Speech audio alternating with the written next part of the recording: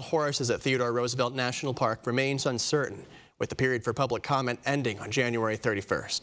Park officials are considering either reducing the population of horses significantly or removing them from the park entirely.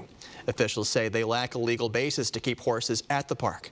WDAY News reporter Mike McGurran has the story on state lawmakers in their response to the ongoing uh, debate. North Dakota House Representative Josh Boschee's letter to officials of Theodore Roosevelt National Park urges them to extend the deadline for public comment for their livestock management plan by 60 days. His letter argues removing the park's horses could hurt the state's tourism industry.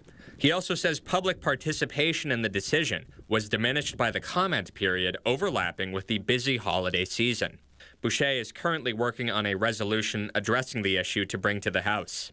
Other state lawmakers voiced support for trying to keep the horses at the park at a Dickinson Chamber of Commerce event. It would be a tragedy to lose uh, something that does draw and has a lot of tourism draw for the state of North Dakota.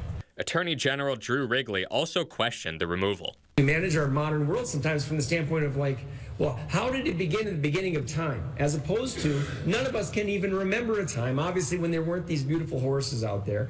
And uh, the question will be, are we managing it for the managers or is it being managed for the people that enjoy the park? Christine Kman, founder of Chasing Horses Wild Horse Advocates, is happy to see state officials getting involved, but she says it won't be enough. She says North Dakota's federal delegates will have to get involved in order to save the wild horses. Heard us, so they're taking our voice to the floor in, in, the form of a resolution, and then they will go to our federal delegates and say, "Hey, this is what the people of North Dakota are saying," and I would expect that our federal delegates would respond since we voted them in office to be our voice. Mike McGurran, WDAY News. Senator Hoeven sits on the National Park Subcommittee in the United States Senate.